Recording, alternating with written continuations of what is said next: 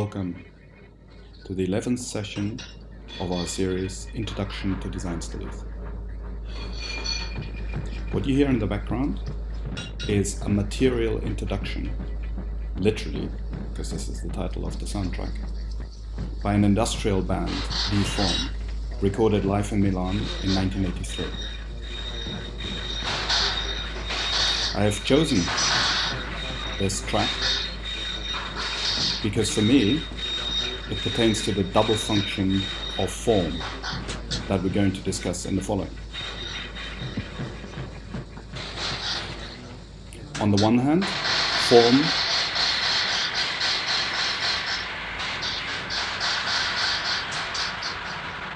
as something concrete and material, as you can hear through the tools and sound generators that are used to create this noise, but form equally as a concept that demonstrates a design process. For example, making industrial music.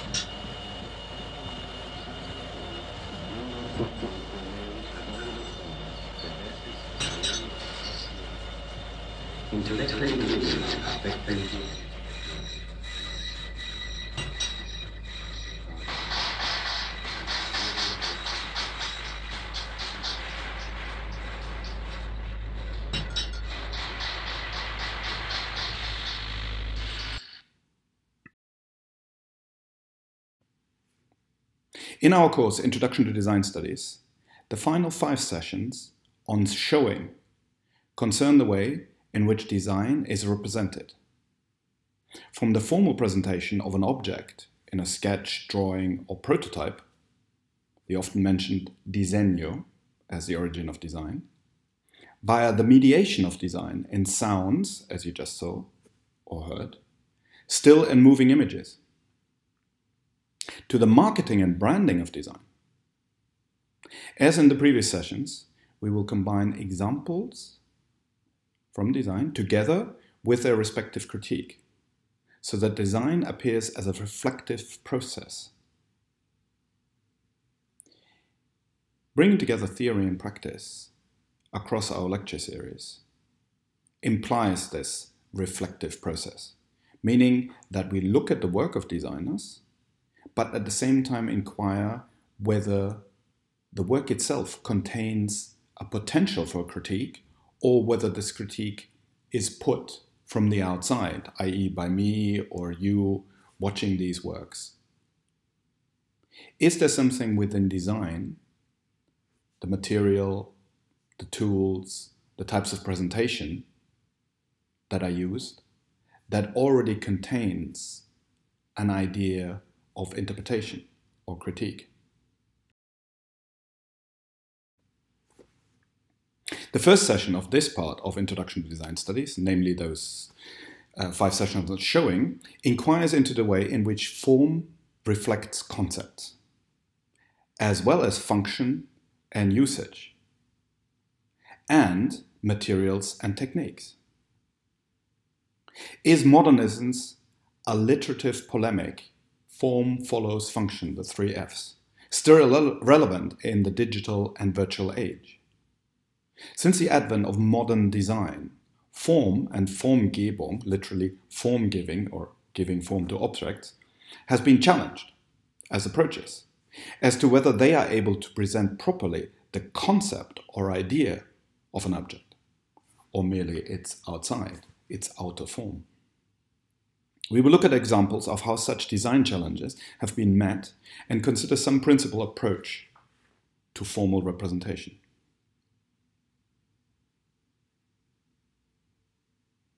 In the following, we will also see how formalism, that is often implied in the study of form, leads to dichotomies or contrasts in regard to woman, man versus nature, in regard to cultural hegemonies, Explain in a moment what that means, in regard to historical traditions, and so on.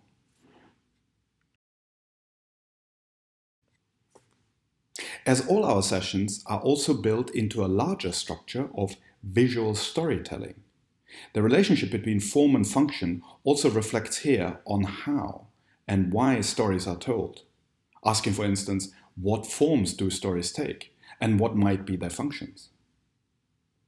In analogy to the storyteller, the person who gives form to an idea, an object, a service, or system, be it the designer, the maker, the producer, the distributor, or a politician, economist, assumes a more or less authoritative voice or visual display by pronouncing a subjective or a widely shared opinion, coining a phrase or style, and addressing the audience in a more or less inclusive fashion.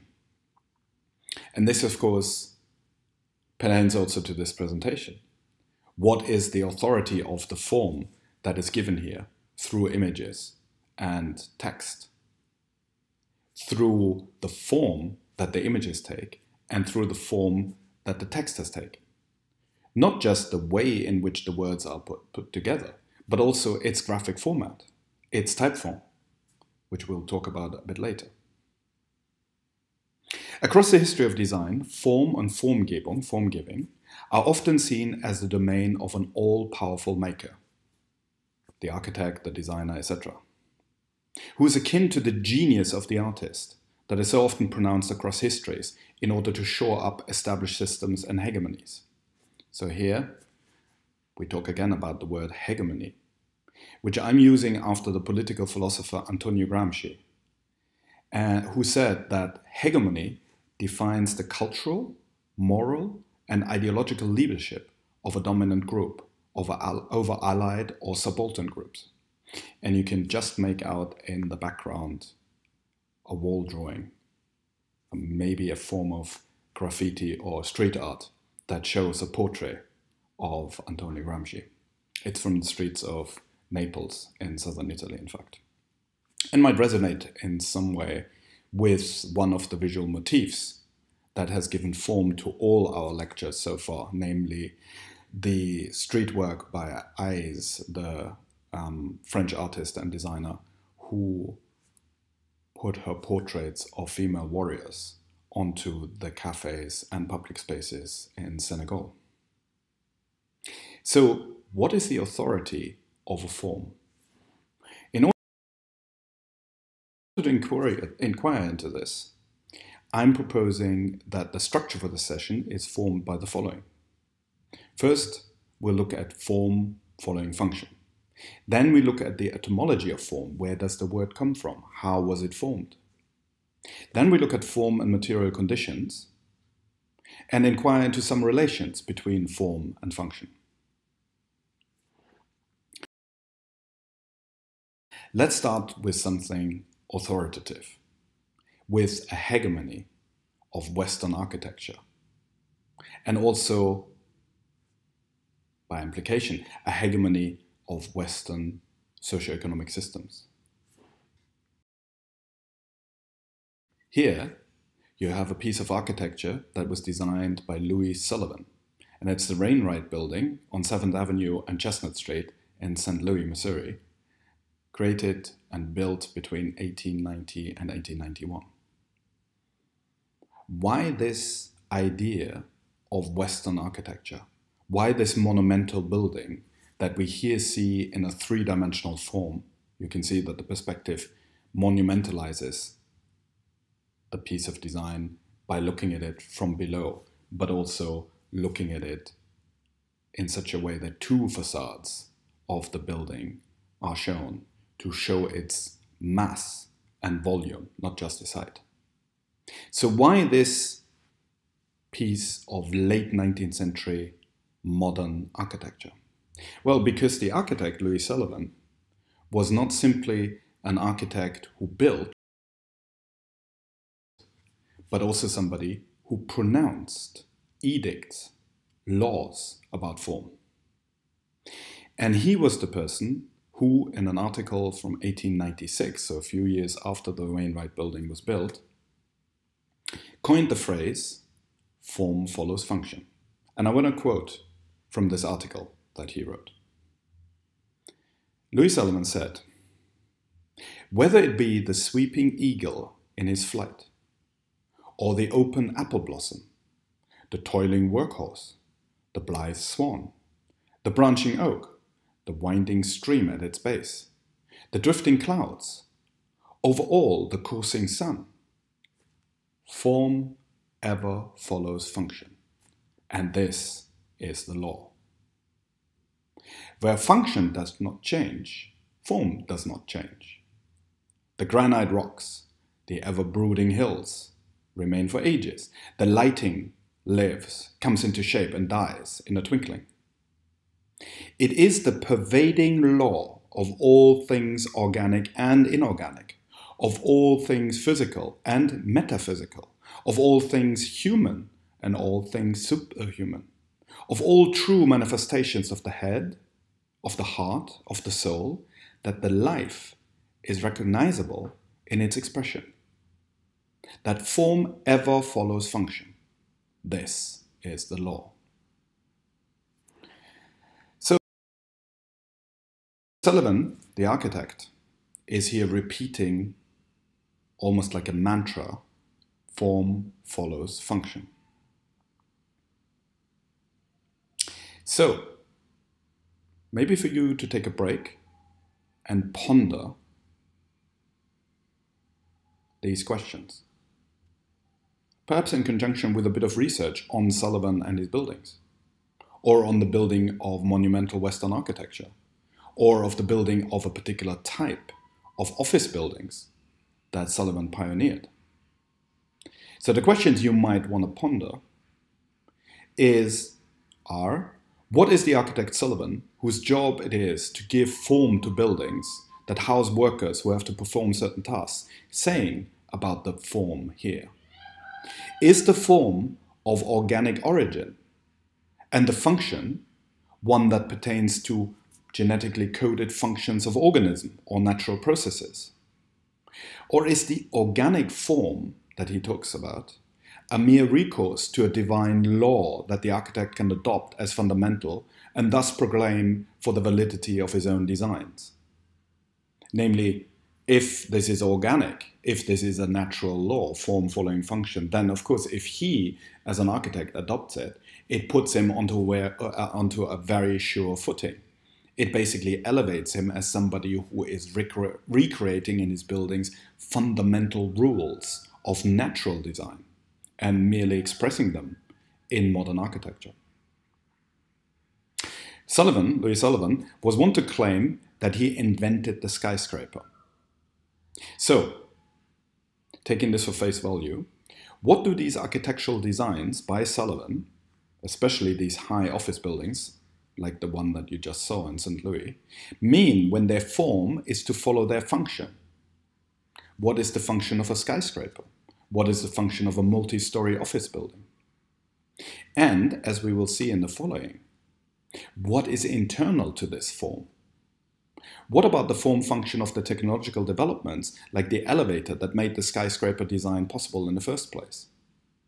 So, is the form that Sullivan is giving here, the Wainwright building, only possible because somebody else had previously given form to an idea of a vertical shaft that contained a little box that could go up and down through mechanical means and transport people across many floors. And only this, plus of course things like metal construction and the use of concrete and so on, allowed Sullivan to come up with forms that follow function. So what is internal to a form? This is something we will discuss in a moment. But let me go back to something that is slightly more fundamental. My argument here for this session is that form is one of the elements of design that can be used to both develop and describe work. In addition to form, other formal or visual terms in the design process include line, shape, value, color, texture, and space, and many others you can think of. Form can be used to describe something that is three dimensional and encloses volume, which can be measured by length, width, and height. Simultaneously, form is the result of a design process that builds up a two dimensional shape into a three dimensional representation. For instance, when a sketch, a disegno, is crafted or manufactured into an object. So, form is also fundamental to the designer's self awareness, namely, I am giving form to something. Forms can be geometric or organic, structured or set, versus flexible and growing, woman or man made, or natural. Therefore, forms also appear autonomously from woman's or man's conception and follow genetic, evolutionary, biological principles. As you saw a bit in the quote by Sullivan, who is pairing organic and inorganic things and proclaims a law that covers both of these. So please keep in mind the idea that form is an element of design that can, use, can be used to develop a design, but at the same time describe it. So it is inherent in the process of designing, but it's also inherent in the way in which we depict things through a form. So here, very polemically, something called Die Form, which was uh, a magazine for design work, uh, Zeitschrift für gestaltende Arbeit, so uh, designed work, the, the combination of creative design but also industrial work um, which was published in Berlin between 1925 and 1934.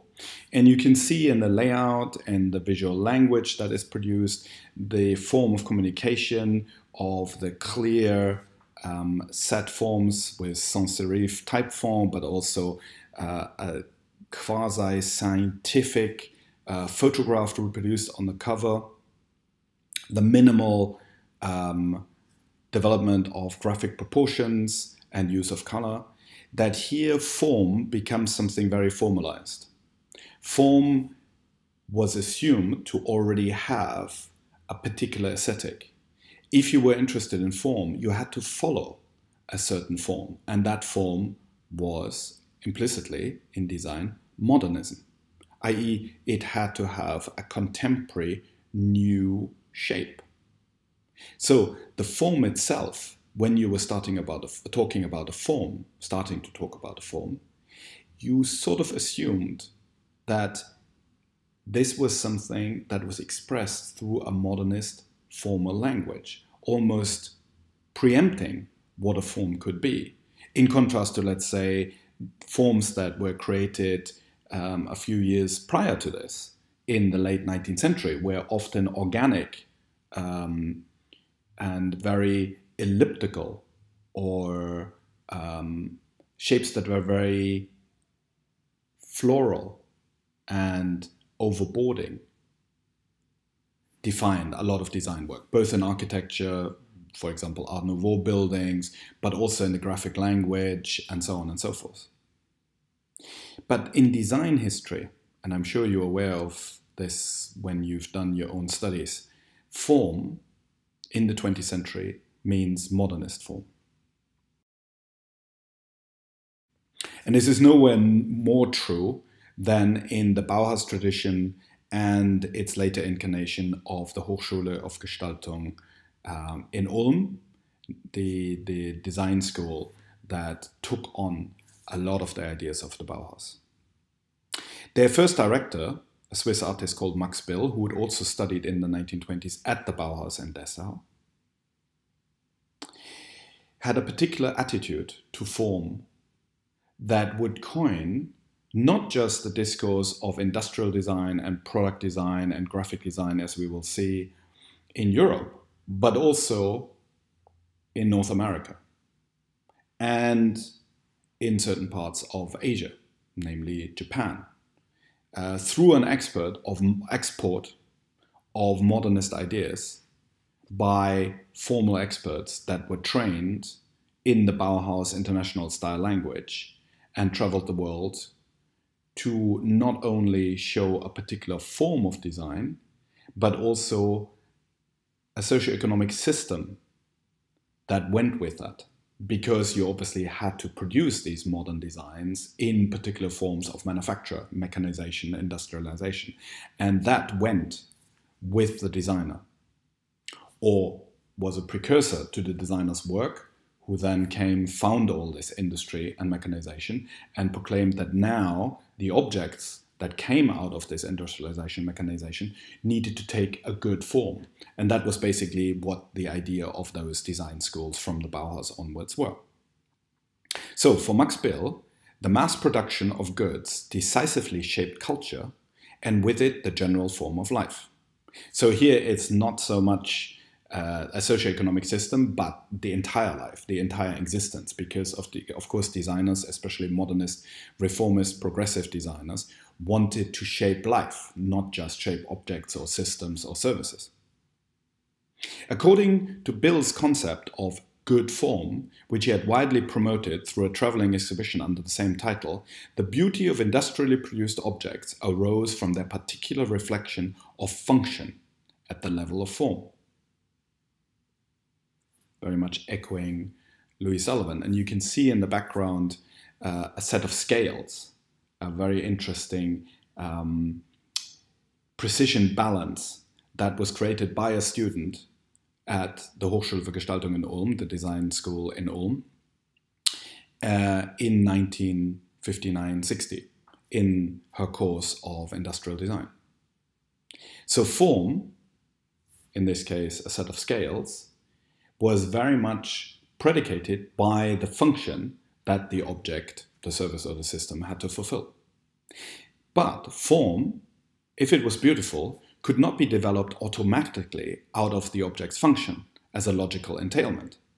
Rather, Bill and other people at the Hochschule für Gestaltung in Ulm thought an object's beauty stemmed from the particular way form meshes harmlessly, harmoniously with purpose. For this reason, the fine arts, by definition unconstrained by external considerations of use, had an essential contribution to make in equipping the designer with the artistic means of giving form to function. And this is natural to somebody like Max Bill, because Max Bill was primarily a painter, an abstract painter. The aesthetic aspect of design consisted then in the disclosure, in an artistic mode, of facts pertaining to use. So here, an artistic form follows the function, not just any form.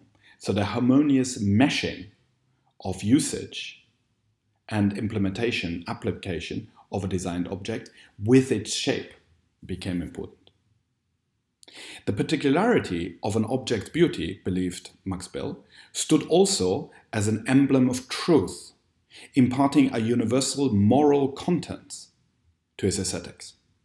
In this way, objects might serve a higher function beyond their immediate purpose as moral beacons, transmitting the values of modesty, honesty, and social usefulness. So, this is from an um, article by um, Peter Kapos, um, who revisited the legacy of the Ulm model, as it is called, the Hochschule für Gestaltung, the importance of this design school, for an exhibition in London and 2016.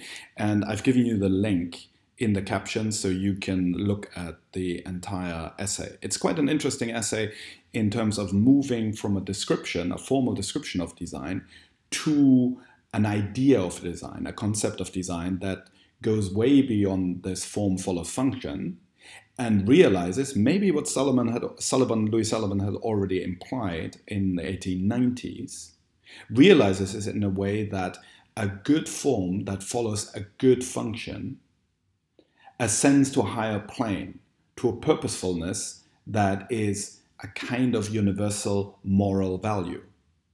And this is, of course, highly debatable because as it is completely within the hegemony, using Antonio Gramsci's term, of the dominance of a particular model, namely Western capitalism and the design that goes with it, the production of commodities, the giving shape to particular ideas and uh, concepts through industrial production and mechanization, and that that was proliferated ar- across the globe, as I just said, and that that rode on the back of the idea of good form being of a moral purpose.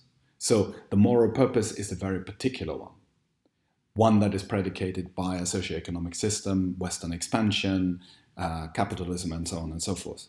So here, this idea of a moral purpose becomes something that works when you stay within the discourse of modernist design. But the moment you look at it critically from outside, you begin to question it. So here is Otl Aicher, the professor of visual communication and typography at Ulm, teaching typography. And you can see the way in which he uh, develops a font here on the blackboard, teaching his students at Ulm. And uh, this photo is, I think, from uh, around 1965. And here are now some examples by Otl Aicher. First of all, um, a record cover he did by, for modernist music by Karlheinz Stockhausen. Then there is the work that he did for the Olympic Games together with his students in 1972 in Munich, where he developed an, not just a corporate identity for the Games, but a visual language. And here, finally, is an example of his graphic work for on the you can see it on the right for Lufthansa for the German airline that is still in use today. So this idea of good form was so universally ingrained into the cultural system of Germany, or by implication of modernist Western Europe, that it pertains um, to a certain standard up to the present day and hasn't really been changed. So, the form of presentation, but also the form of objects, follows a particular function. And this function might not simply be the function of the object, but the function of a larger system that gives rise to the object in the first place.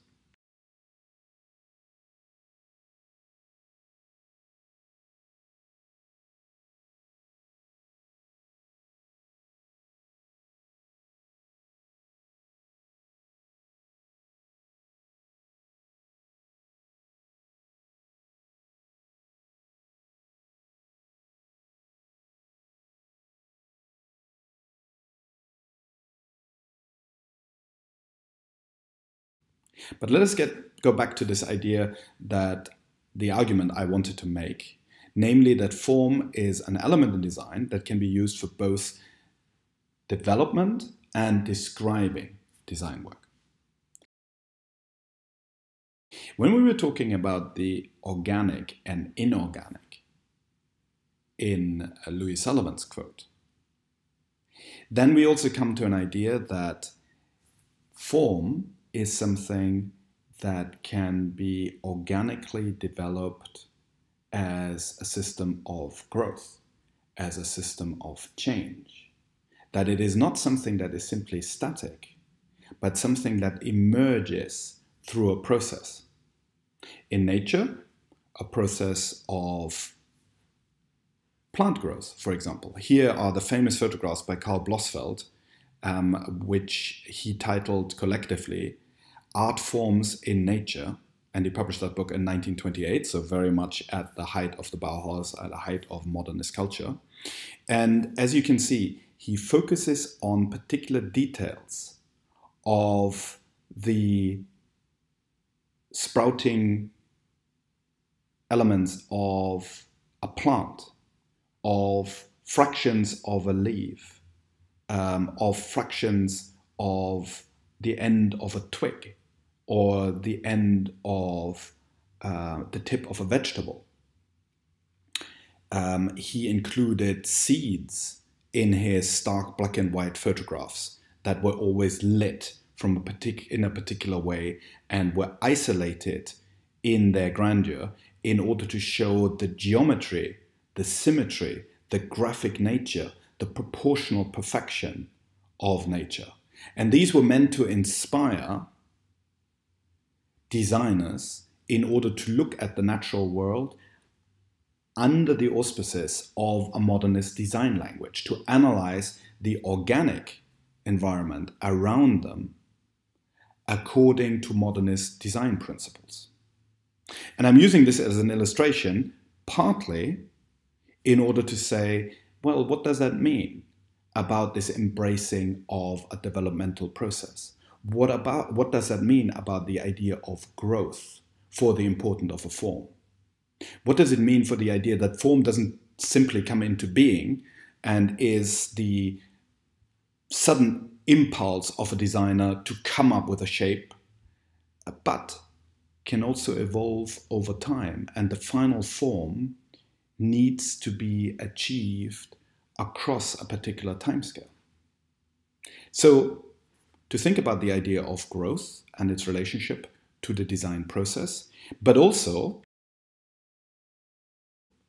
because it gives me an opportunity to come back to one of my favorite sources, with which I've bothered you um, many times in the past, namely the book by Gottfried Semper on style.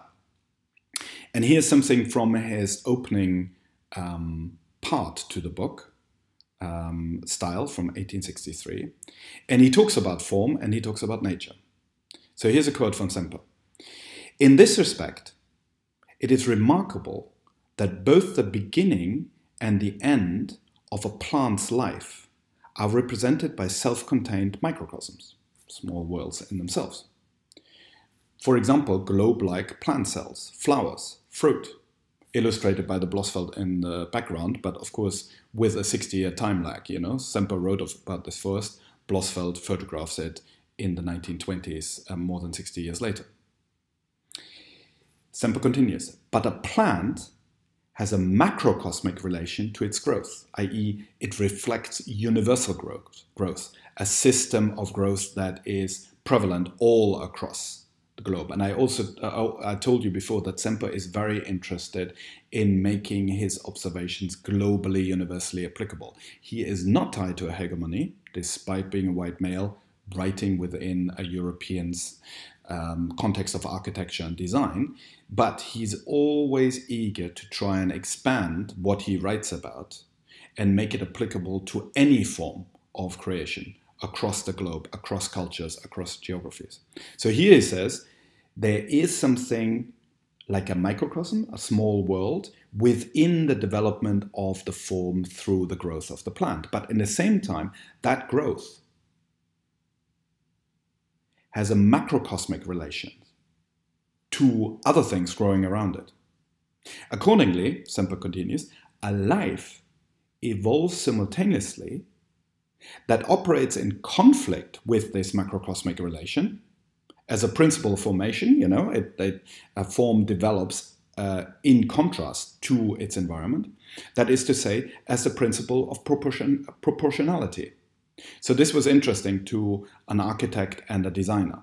So the contrast that each microcosmic development of a design, be it an organic design of a plant, but by implication also the reflection of these microcosmic growth of plant in design features that uh, Semper analyzed in his book on style, that that microscopic growth also has a relation, a contrasting relation, a separate relation, an individual relation to larger forms of growth around it. So it stands apart in an individual way, it grows in a particular way. I talked about the uh, idea of evolution in Semper that he took from Darwin and others in the 19th century.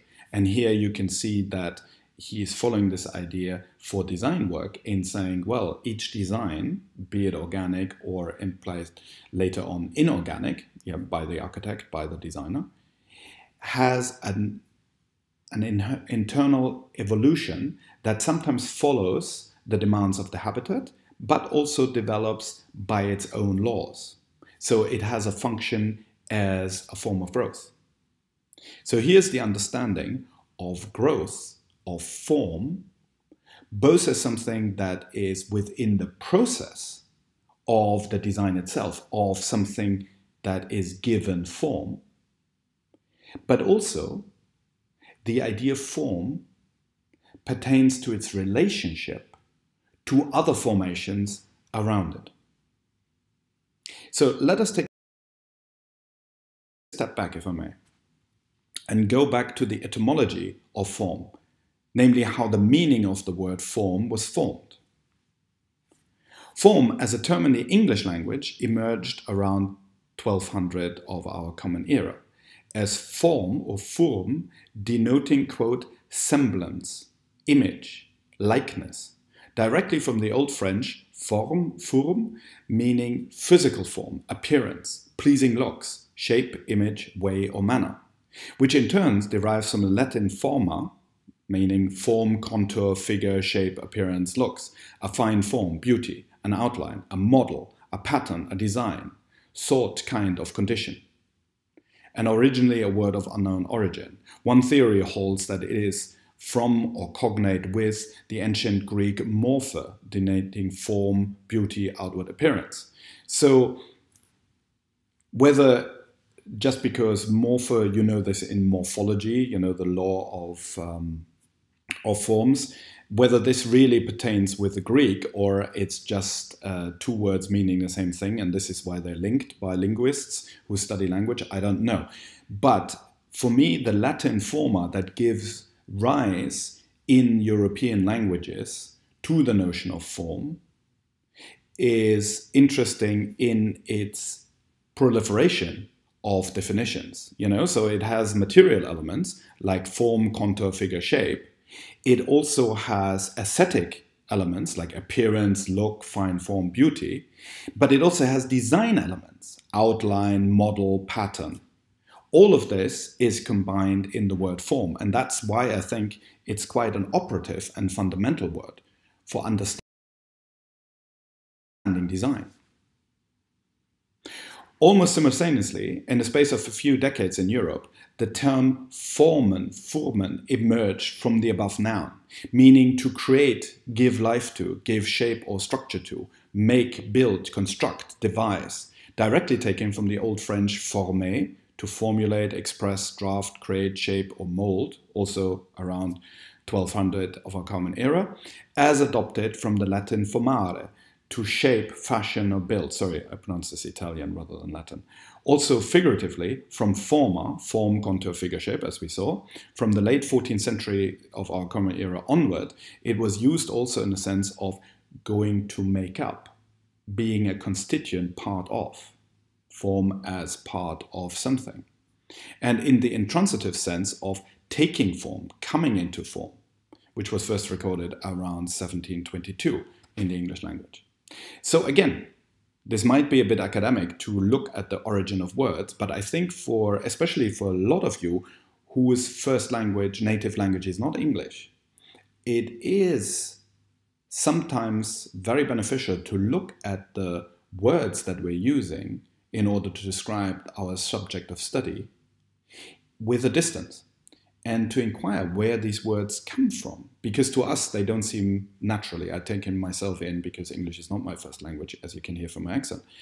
So, with taking a distant look and trying to analyze a language, we often find within a word so many different meanings that allows us to play with these meanings in our analysis. So, when we talk about the form of design, through the etymology of the word form, we get the idea of moral good taking shape, you know, growing into something, of aesthetics, a good look, um, of a material shape, a contour, a form, but also of a design process to build, to construct, to make, to give form to something. This is why I'm using the, the German word Formgebung, giving form, in the title to the session. So it might be interesting to go back, not just with the word form, but with other forms, to their origin and think what do they originally contain in emerging as words in our language, in our common language, English that we use as a lingua franca at the New School.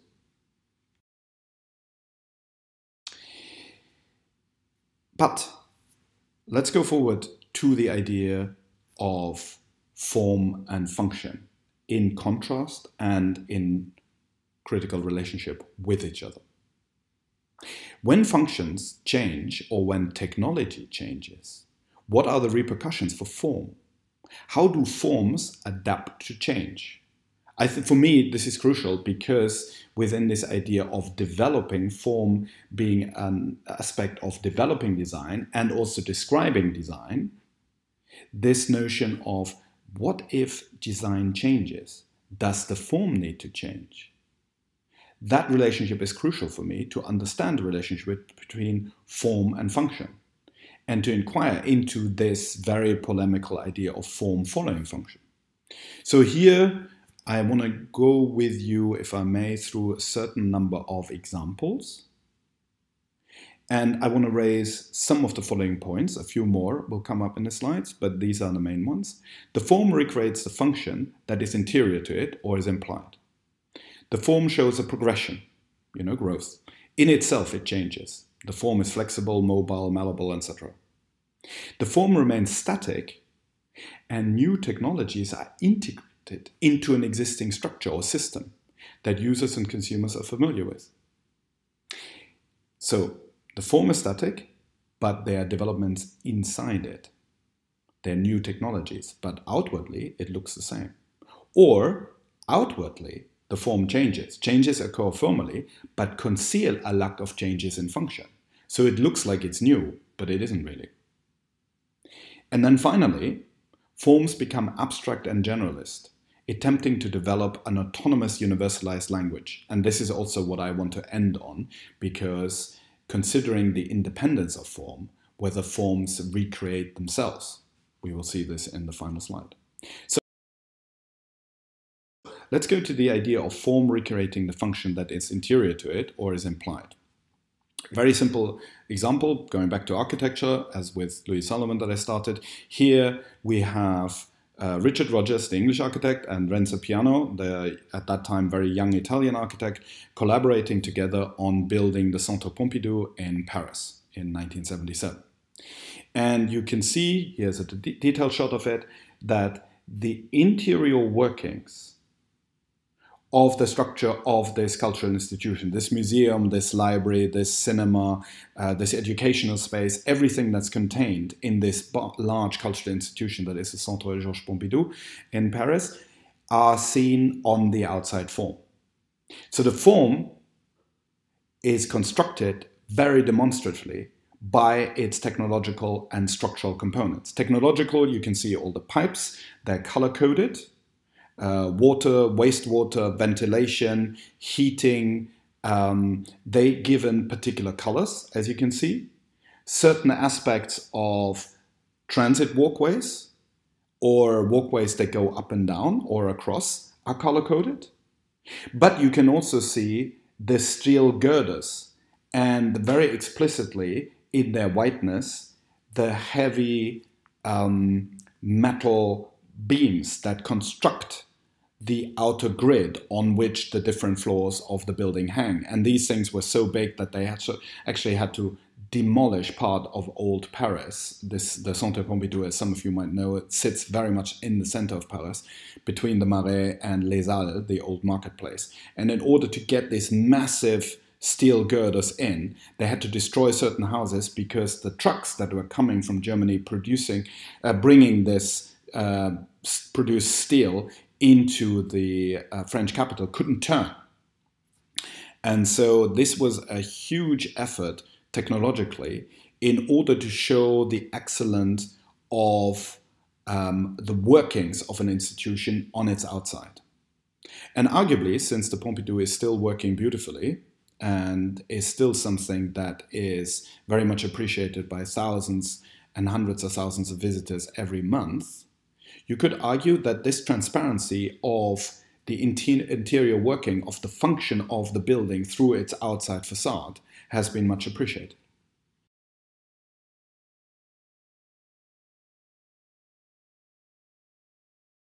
Here's another example, maybe a bit more banal and closer to home since we're here in New York. This is um, Jonathan Ives' design for the Apple iMac um, of 1998. And arguably, the iMac, as you might know from your history of technology and design, was a real game changer for the Apple Corporation that had been losing, losing money. And this very cheerful, very transparent form of personal computer ushered in a new period for the success of the Apple Corporation. And what Jonathan Ive does here is, and his design team, what they do is very obviously showing the function of a personal computer through its transparent, although vaguely opaque. It comes in different colors, so it, in a way, it conceals ever so slightly um, some of the inner workings under a beautifully um, created uh, colorful facade. But at the same time, because it's not completely opaque but semi transparent, you can, if you feel like it, peer inside and actually see the workings of the computer. For those of you, rather, I think your parents or older siblings maybe, who used to have one of these, you could actually see some of the varying mechanisms of the processors within the Apple working when, when, you, when you turned it on.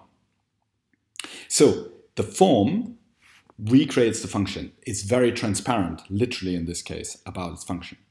But it can also be more So here I want to come back to an example that is historically and also in social and political terms quite a contrast to the designs for the Apple Corporation. And I'm coming back to this example A because it is for me a very apt illustration of the idea that an outer form reflects an interior structure to aid the understanding of the user consumer and to critically display its own narrative, this idea of design being self reflexive, and through the media, through the form it takes, being a very apt example of a visual narrative, which is given theme to our series of lectures. So this example comes from He Youzhi, and uh, uh, his series of drawings is entitled Great Change in a Mountain Village which is based on uh, a revolution novel by Zhou Libo from 1961. And these images have a very complex relationship to each other, but also to the literary source that they are meant to illustrate. On the one hand, they play with the idea of tra tradition and innovation, of historical origin and progression, both visually but also in terms of their narrative. But more, in a more complex way, they also play with different types of internal forms that are meant to be represented by these images. Let's start with the first bit and then go to the idea of the interior form and keep these images in mind when we go to the slide that talks about the interior form that is basically constructed through the text itself. So the idea of the change in the mountain village, and I beg the indulgence of all the Chinese students in me mispronunciation, mispronouncing all of these names. The idea of the great mountain village undergoing a change is represented by the way in which a novel idea of structure, in this case land reform, agricultural reform, enters an existing historical context namely the village. And you can see this by contrasts in the way in which the figures are depicted, what they're wearing, um, what their gestures and body movements are, the way in which they are interacting, and the way in which they seem to stay sometimes in conflict and sometimes in solidarity with each other. So the line drawings of this visual narrative obviously go back to a very early form of storytelling. Uh, you could compare this to the image d'Epinal that existed in medieval Europe, uh, where sequenced images were presenting visual stories, often with a moral or political purpose, to an audience that might not be entirely literal, that could not read and uh, write very well, but were very aware of traditions of storytelling through images and could read these images very well. So these images go back to a historical tradition, but of course they feature also very modernist pictorial ideas. That's very clear lines. They describe the contour of each form, be it an organic form of a body or the inorganic form of an object, extremely well. And they have a certain contemporaneous, a certain revolutionary clarity to them. They have a, maybe a propaganda purpose to it that is very overt and stands in stark contrast with the traditional storytelling. Although that you could argue that the moral purpose of original storytelling is maybe akin to modern political propaganda. Notwithstanding that analogy, you could still see that there is a tension between the old and the new as contained in the way in which the line drawings work. And this contrast between the old and the new, and maybe the high and the low, the idea of the popular visual narrative of a novel, may be akin to a comic book of today's day, with the pairing of high art, of a moral purpose, of an educational didactic purpose that is expressed through these very clear images, finds its expression in the way in which the original novel was written. Namely, by the fact, and here I'm quoting from a literary study by an author called Yunji Wu, who inquired into a synchronic and diachronic study of Chinese Xiang dialects. So a linguistic study, but he uses literary examples in order to make his point. So let me quote from the book. The novel Great Changes in a Mountain Village was written by Zhou Libo, a famous Chinese writer. The theme of this novel, novel is land reform.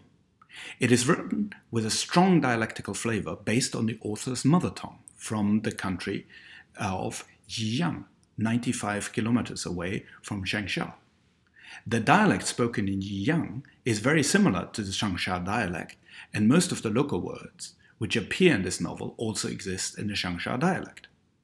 In both novels, the author uses a literary device whereby the description of scenery and the plotting of the story are written chiefly in accordance with the structure of the standard literary language, with only occasional references to local words and expressions. Dialogues, however, are treated differently. The local spoken language is dominant, with only a few expressions from the literary language.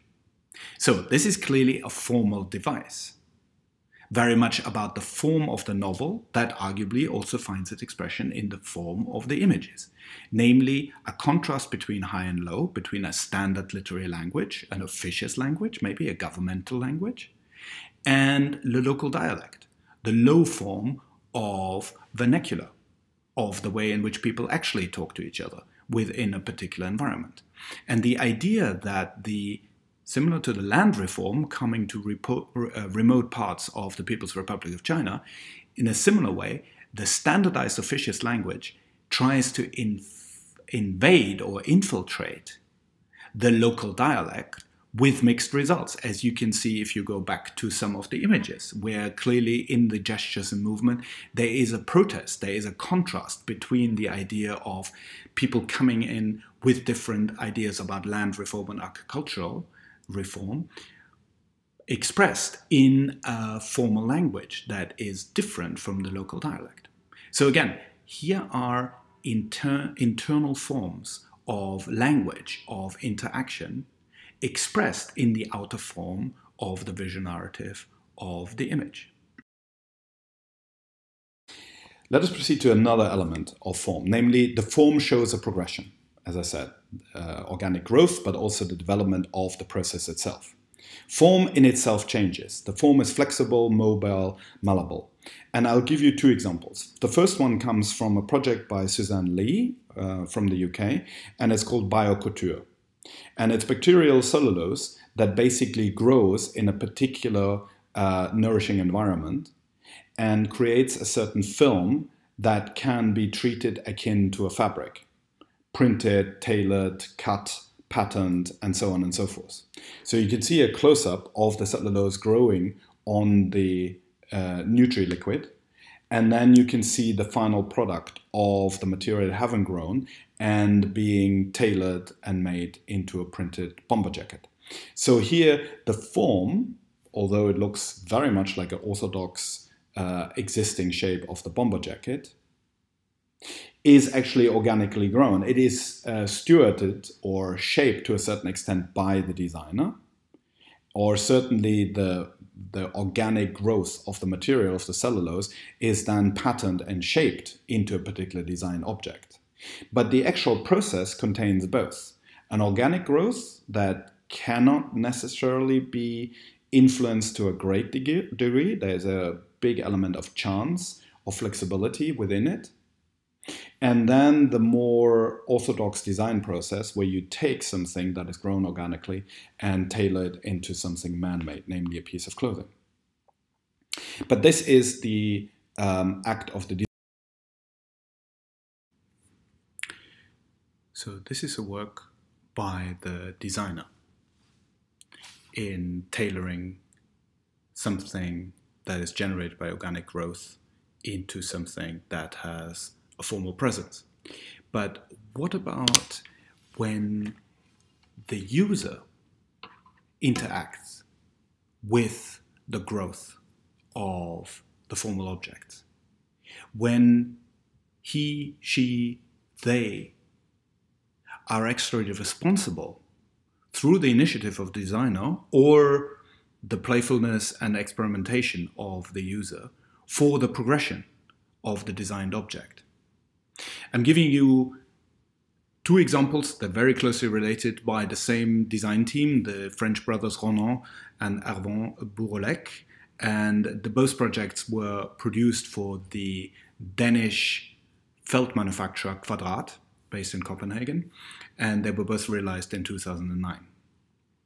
And they share similarities in that they are formal elements that we can be combined in a particular way in order to represent infinite growth.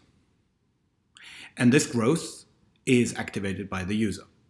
Not necessarily the manufacturer, Kvadrat, nor the designer, the Bouroullec, but the person who wants a wall covering, who wants a floor covering, who wants felt elements in her, his, their environment, and is thus encouraged to combine smaller elements, flexible, malleable to a certain extent, into larger structures. And the form of that combination is not necessarily given in full, but to a certain extent is left to the innovation, the stamina, and also the material wealth, the money, because these are these design objects are not cheap, of the consumer or the user. So here in the first image, you can see a close-up of clouds for Kvadrat by the Bouroullec. And you can see that these uh, hexagonal dome shape elements um, can be folded inward and combined by raising the edge, edge of the felt piece uh, through uh, a certain insertion and attaching it to another piece. And not all the pieces are necessarily the same, although they might be similar in their outer form, their silhouette, and their linear circumvents of, uh, of space internally, because of the folding me mechanism, they can obtain different forms, different volumes, different elements of mass. And they can also be folded inside each other and adapted to, so that the very same elements, contrasted and moved around, can actually assume a number of different forms. And here in the environmental language, uh, image, pardon, the environmental image at the Kvadrat uh, headquarters, actually, in Copenhagen, a wall piece by the Bouroullec entitled here Bivouac from 2009 shows how uh, similar elements to the clouds are produced in sequences. Not always orderly sequences, they look slightly experimental and slightly haphazard, but if you can see the expanded structure has a number of repetitions, so there's only a certain number of variations that the user can exercise. But here, the design has an inbuilt reflection on its process. It gives you elements and gives you certain formal ideas about the combination of these elements but then hands over the initiative, so to speak, to you, the user, the consumer, and say, now, combine these designed formal elements in such a way that different types of forms emerge. And this distinction between the formal innovation and formal composition of the designer with the formal variations of the consumer gives form, I'm sorry using this word too much, gives form to a particular concept of design, namely uh, a kind of application of an independence and autonomy in the application of a designed piece. So after having seen the aspect of form being malleable and flexible and subject to growth, allow me to come to another aspect within the relationship between form and function. Namely, the form remains static and a new technology is integrated into an existing structural system that users and consumers are familiar with. So the argument here is that forms become familiar to us within cultural traditions, within cultural hegemonies, as Antonio Gramsci polemically said.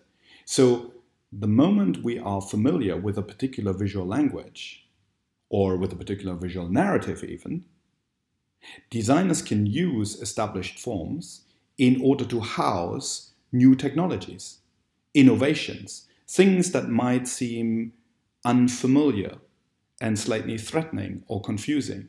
But by providing a form that people are familiar with, they integrate readily into an existing language, into existing cultural appreciation. So on the left here, and this is a very polemical example coming from Japan, we have a 19th century inro, a small receptacle that men or women, more men than women, were wearing on their belt. And if you look closely, you can see a line, lines going across this beautifully covered wooden form with uh, a particular type of lacquer, very three-dimensional, with inserts of semi-precious uh, stone to uh, show the fish and the sea creatures onto this golden wave design. And these lines that go across it show the section in which the wooden carcass inside the small receptacle is built, but they also indicate that the top fifth or top sixth of the receptacle comes off and it slides along in a quite an ingenious way along the thread that goes into the uh, uh, big decorative globe or ball that allows the user to attach the inro to his or her belt. So the cover, the top, comes off and slides along the line, and then it allows you to put things into the receptacle, be that a tissue, be that tobacco, be that other implements, and then you slide it back, and you slide back uh, the little stone or wooden um, uh, pebble or ball in order to seal the cover. And this design the carcass of the Inro is recreated almost like for like for a smartphone case from 2015. And it is recreated to such an extent that you can even see the, hor uh, the horizontal lines that uh, were indicating how the carcass was built off, built up in the original Inro. But now for the um, synthetic plastic cover of the smartphone, they don't fulfill a function. They're purely graphic. But as you can see, the design goes back to this idea of the traditional inro wearing being worn on the belt. And indeed, you could see that this, you could say that the smartphone is an ambiguous social uh, signifier of uh, maybe wealth or status, not quite in the same way that the original Inro was, because these were very expensive, but also worn ostensibly not on the belt, but maybe carried in the hand or in a handbag and shown off. So there's a similarity in terms of the formal language that I see being used. But moreover, the form being almost the same conceals very, very different functions and technology um, within a similar language. What if the form remains static and a new technology is integrated into an existing structure or system that users and consumers are familiar with? What does that reveal about the process of designing, of the concept for this?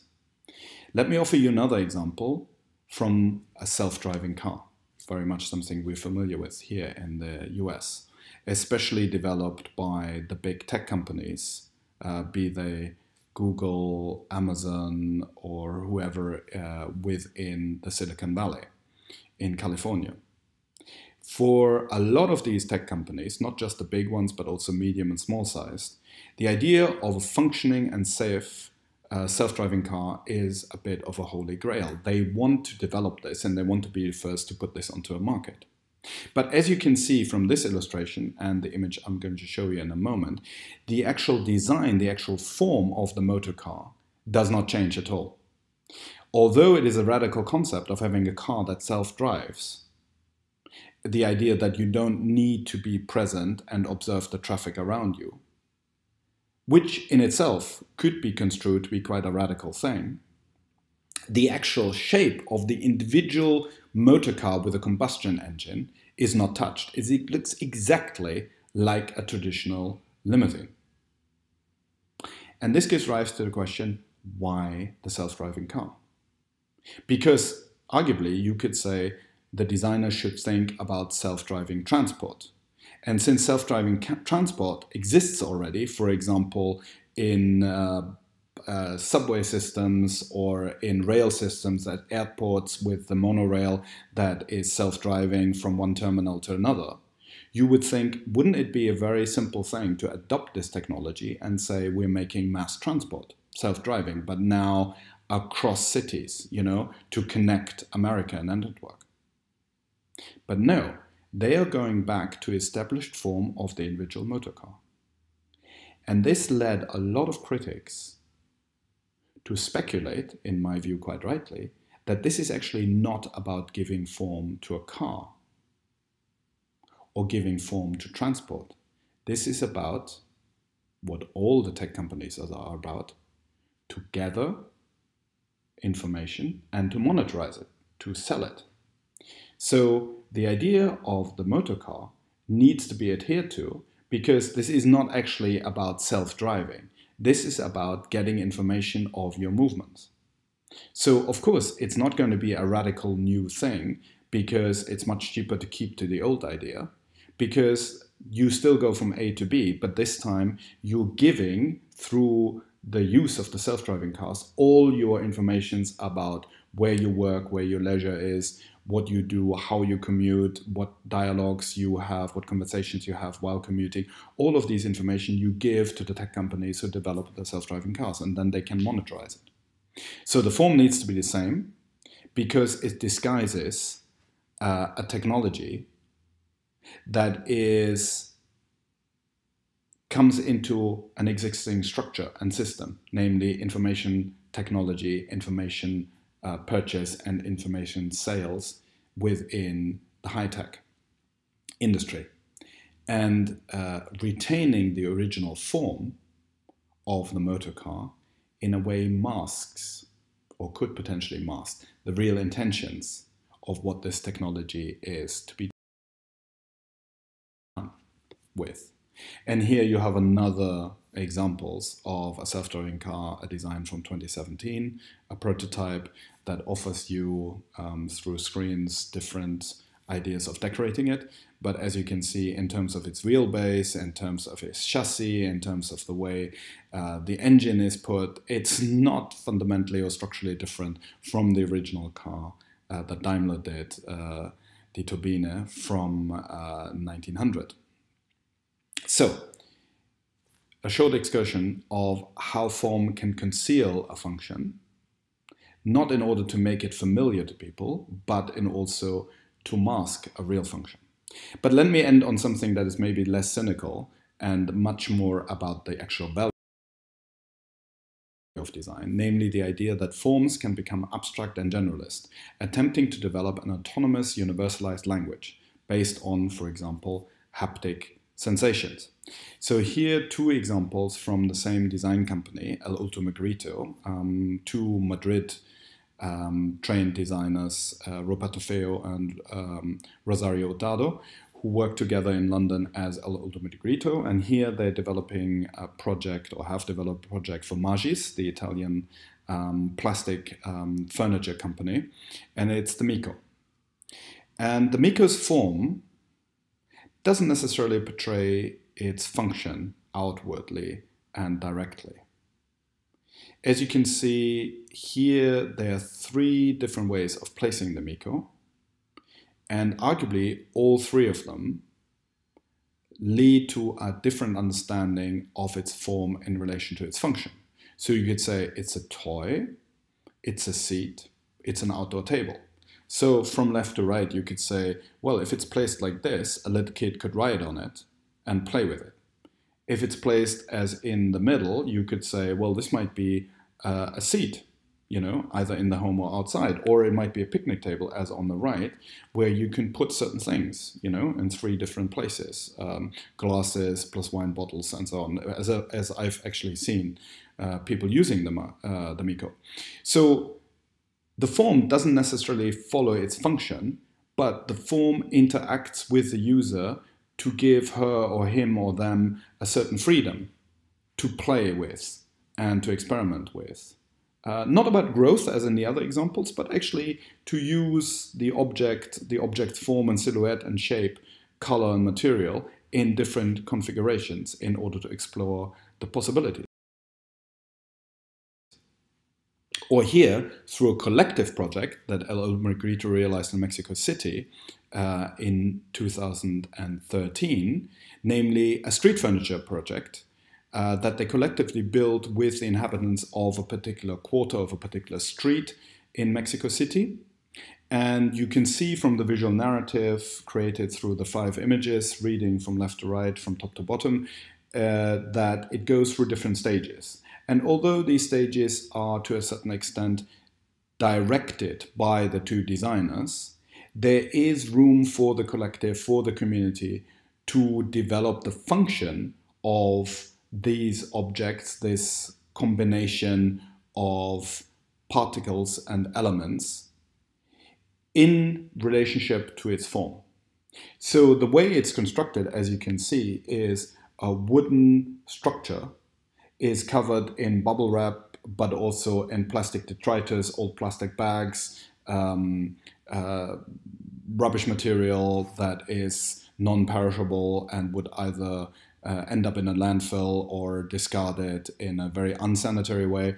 They are used as filler material and then wrapped in um, tape and finally covered in pre-made little graphic stickers that give a kind of harmonious overall surface to the object.